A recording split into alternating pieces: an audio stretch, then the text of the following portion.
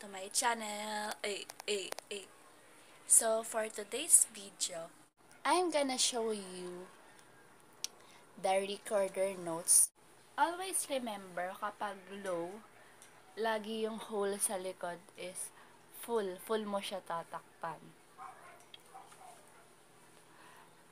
Low C, D, E, G. A, B, high C, yung hole, yung back hole, nakatakip pa rin siya in full cover. And high D, as you can see, yan, hindi siya, hindi niyo po tatakpan yung likod. Yan. Tapos, next naman ang F sharp. Para po sa akin, ito yung pinakamahirap na recorder notes. Kasi dapat i-make sure na hindi siya pumiyok pag F sharp. Kasi medyo ang ang hirap. Lalo na ito, oh, kailangan mo siyang matakpan ng maayos para hindi siya pumiyok.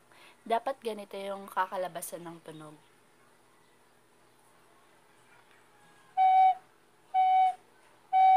Hindi ganito. Tingnan niyo pa pag hindi maayos na takpan. 'Di ba, pumipiyok siya. So, make sure na dapat natatakpan yung dalawang butas. Ito, pati. Ito, ang dalawa. Tapos, BB. Big letter B and small letter B. Tapos, yung back hole, ganun pa din. Naka-fully covered. Then, A sharp.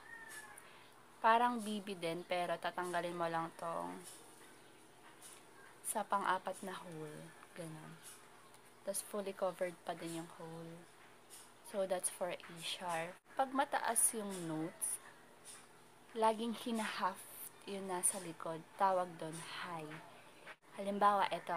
Ang note na to ay letter E. So, pag sinabing high E, kailangan ang cover sa back hole ay naka-half. Let's see the difference. Ito yung letter E lang. Ganito yung tunog niya. Pag high E naman, ganito magiging tunog. So, iha-half na natin yung sa back hole. Halfly covered lang. Ganun lang yan guys, pag sinabing may high. Except lang sa high C tsaka high D. Diba, ang high C ganito, tapos ang high D ganito. Sa mga ibang letters, sa A, sa B, sa G, sa E, sa F, pag sinabing high, lagi lang Ganon pa din yung dito sa harap. Tapos, yun sa likod lang yung ihahaf. So, that's it. I hope you learned something new about the recorder notes.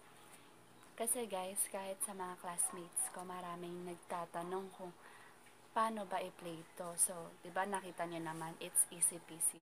So, kung may kilala kayong mayroong recorder at meron pa silang hindi alam or hindi pa familiar na notes, you can share this video to them para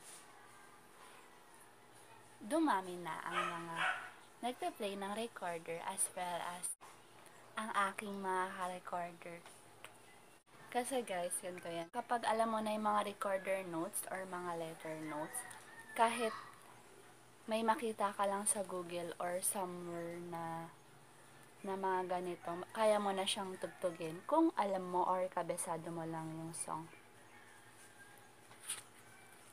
Ayan. Tulad nito. Lagi akong may notebook. Tapos doon ko sinusulat para hindi ko sila makalimutan. Ah, sana all. That's it for today. Bye bye. See you on my next video.